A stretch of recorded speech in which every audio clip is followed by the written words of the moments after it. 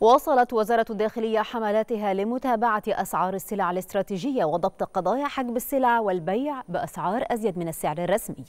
وتمكنت الوزارة خلال 24 ساعة من ضبط 674 قضية تموينية مستندية وعينية بمضبوطات بلغت 967 طنا.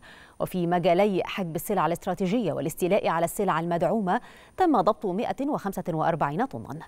وفي مجال حجب أرز الشعير والأبيض والبيع بأزيد من السعر الرسمي للأرز الأبيض تم ضبط 738 طنا.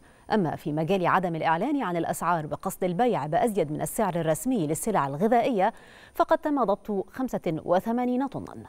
وفي مجال قضايا المخابز تم ضبط 912 قضية من بينها 206 قضايا خبز ناقص الوزن و226 قضية خبز غير مطابق للمواصفات.